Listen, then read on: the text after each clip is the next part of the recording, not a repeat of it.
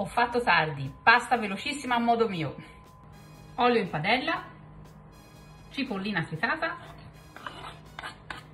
fai rosolare pochi minuti a fiamma bassa, aggiungi i pomodorini secchi sott'olio.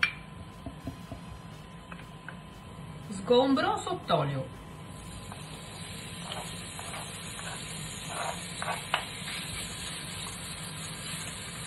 Due minuti e aggiungi pomodoro a cubetti. Copri e fai cuocere 10 minuti a fiamma media. Nel frattempo fai cuocere gli spaghetti. Prezzemolo tritato. Sale. La pasta è cotta, la aggiungiamo al condimento. Pasta pronta!